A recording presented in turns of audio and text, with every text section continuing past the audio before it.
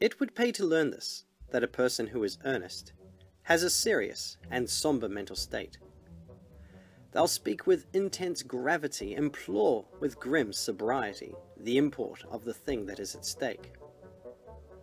However, I should point out that if you have a lot of cats, or say, a boat that's full of chimpanzees, you could say, gee, look at that earnest heap of hungry cats.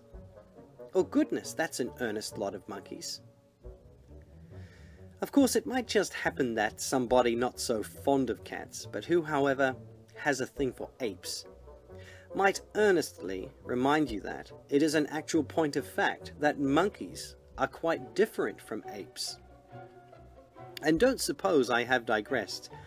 There's one more point here to impress. In earnest, one more thing I can exposit. And that thing that is left to see an earnest is a guarantee, exactly like when making a deposit.